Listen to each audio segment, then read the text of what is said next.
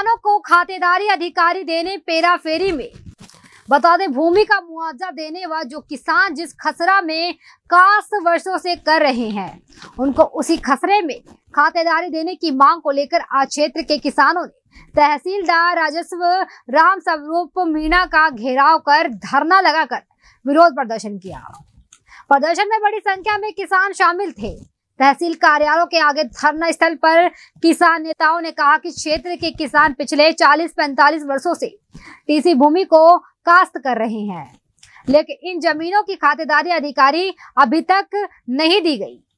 खातेदारी अधिकार देने में राज्य में चाहे कांग्रेस की सरकार हो, चाहे भाजपा की सरकार हो, इस मांग को दबा कर रखा है और क्षेत्र के किसान वर्षों से इस मांग को लेकर संघर्ष करते हैं और तहसीलदार राम स्वरूप मीना के कार्यालय में किसान प्रवेश कर नारेबाजी कर रहे हैं तथा घेराव भी किया है।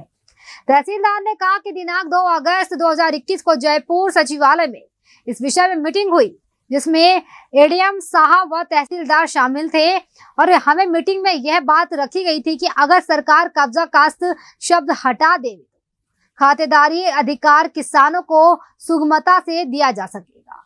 इस मीटिंग का पत्र भी दिया गया है। इसके बाद किसानों ने दिनांक 5 सितंबर 2021 को पूर्ण धरना देने की घोषणा की है।